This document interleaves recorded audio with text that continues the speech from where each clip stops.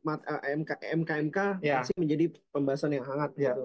Dan Betul. ketika ditanya eh, bagaimana perasaannya gitu Pak Prabowo ya Ya, jawab putusan MKMK, lalu jawabannya adalah itu dikembalikan lagi kepada kepada masyarakat. masyarakat. Ya. Apakah ini sudah cukup menjawab nih pertanyaan? racun terbesar dalam demokrasi adalah ketika populisme, populisme itu dianggap mengalahkan substansi demokrasi. Itu itu yang paling bahaya sebenarnya. Hmm. Jadi ini terjadi di banyak negara. Filipina dua kali ya, eh, bombong. Tapi itu itu masih masih bombong masih masih kita masih Sudah. lihat lah. Tapi kemarin Duterte misalnya, Hmm. Duterte itu menang dengan penal populisme. Apa penal populismenya dia? Dia bilang bahwa saya kalau jadi presiden saya akan tembak mati eh, apa namanya bandar eh, narkotika. Dampaknya apa? Ternyata nggak menyelesaikan masalah. Hmm. Pengguna narkotika masih meningkat. Hmm. Oke.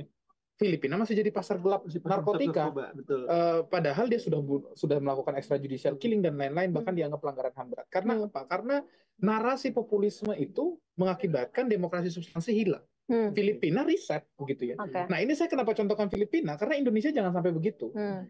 Poin saya bukan soal apakah yang disampaikan Pak Prabowo itu artinya mengkerdilkan demokrasi substansi tidak, tapi ini menunjukkan Pak Prabowo tidak menjawab permasalahan yang itu ada di hati kita semua. Hmm. Oke. Bagaimana bisa kita mengatakan proses ini proses ini sehat kalau terjadi pelanggaran etik yang sangat berat begitu ya, yang kemudian itu mendasari eh, terpilihnya eh, apa namanya pencalonan seorang menjadi wakil presiden. Iya. Kan pertanyaannya bukan soal ini kita tahu lah ini Mas Gibran kan. Iya. Pertanyaannya kan bukan Maksudnya soal ya. apakah Bapak sepakat Gibran perasaan Bapak gimana sih Mas Gibran jadi Iya. Bukan itu isunya. Tapi bayangkan nanti ketika Anda menjadi presiden, Anda bicara penyelesaian korupsi. Hmm. Tanya Mas Zainur, Hmm. korupsi paling kecil itu nepotisme. Ah.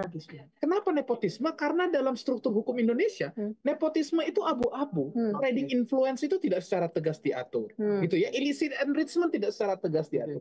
Dua-dua ini konteksnya adalah nepotisme. Bagaimana men-setting, men-nepotize gitu ya.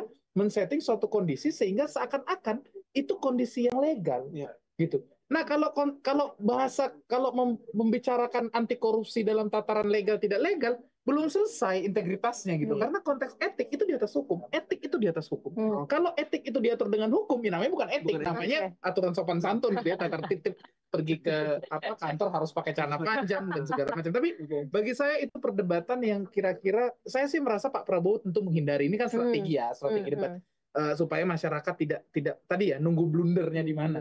Tapi saya rasa dengan jawaban Pak Prabowo tadi, ya ini memicu orang-orang yang swing tadi ya, Hmm. yang atau menurut Kompas ada dalam posisi bingung gitu ya, Ya. bisa jadi menentukan pilihannya Hmm. akibat pernyataan Pak Prabowo tadi yang yang akhirnya meragukan gimana Bapak mau mengatakan pemberantasan korupsi kalau nepotisme di depan mata Bapak tidak Bapak jawab. Bukan soal ngomong direspon ya, bahkan tidak dalam posisi apa kebijakan Bapak ambil segala macam. Menjawab aja nggak mau gitu. Oke. Eh, dan itu saya rasa akan jadi Oke. diskusi panjang nanti. Nah, Oke.